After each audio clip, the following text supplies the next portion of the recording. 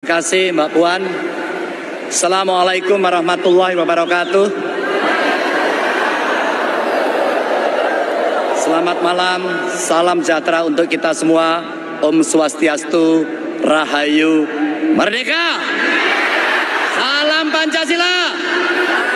Merdeka. Merdeka. Merdeka. Yang saya hormati Ketua DPP Mbak Puan, dan tentu hadir bersama Mbak Puan bersama kita semua tiga pilar partai. Baik dari eksekutif, legislatif maupun struktural partai. Dan tentu saja pada malam hari ini kita juga kehadiran Ketua Harian dari Perindo Tuan Guru Bajang. Terima kasih sudah hadir beserta seluruh rombongan. Juga seluruh hadirin yang hari ini tidak bisa saya sebut satu persatu saya berdiri di sini dengan keyakinan bahwa Indonesia sedang bertransformasi menuju negara maju.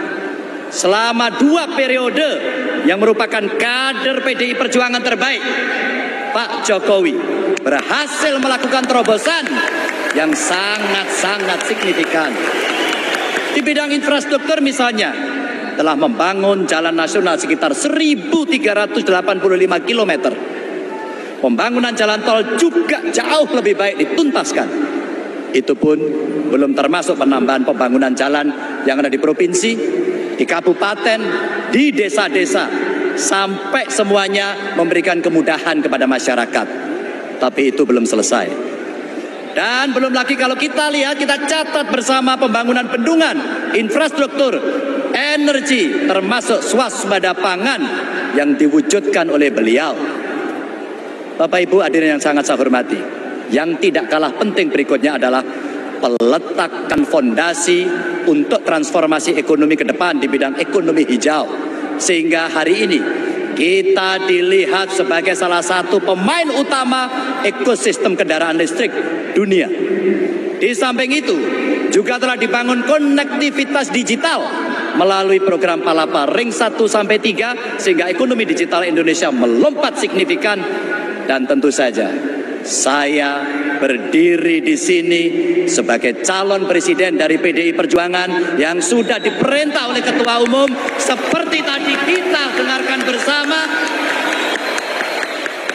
tentu bersama seluruh kekuatan yang hari ini tumplek-blek ada di sini di bawah pimpinan Mbak Puan.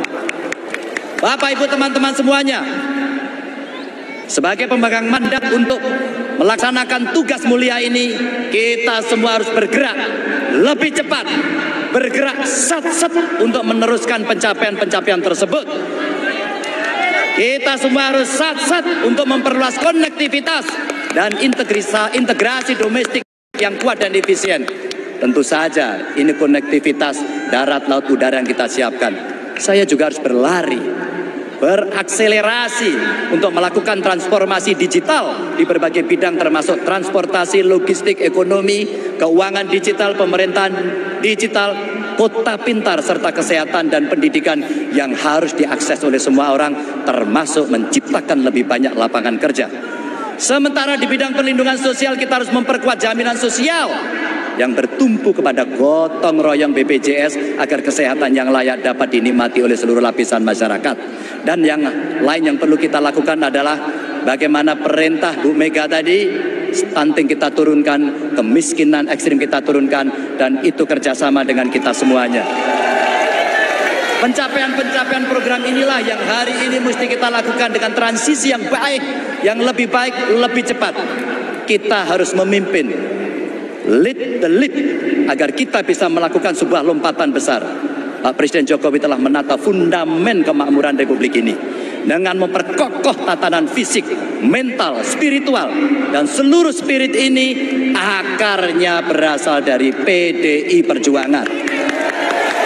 Maka terakhir sebagaimana yang Mbak Puan pernah katakan untuk semuanya jangan sampai kita pedot ayat Jangan sampai pedot oyot.